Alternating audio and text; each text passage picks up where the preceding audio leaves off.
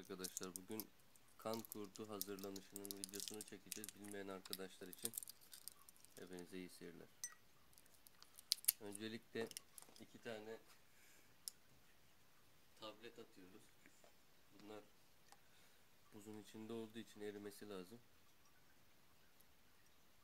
Şöyle yakından alabilirsen.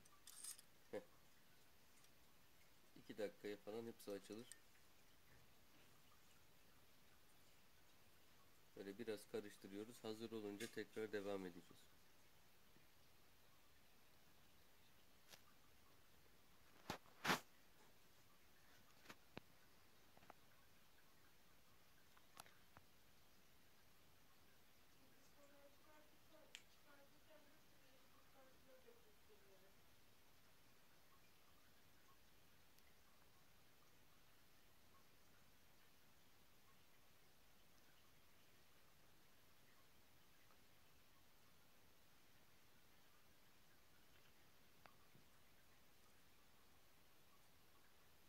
akvaryumumuza atıyoruz arkadaşlar.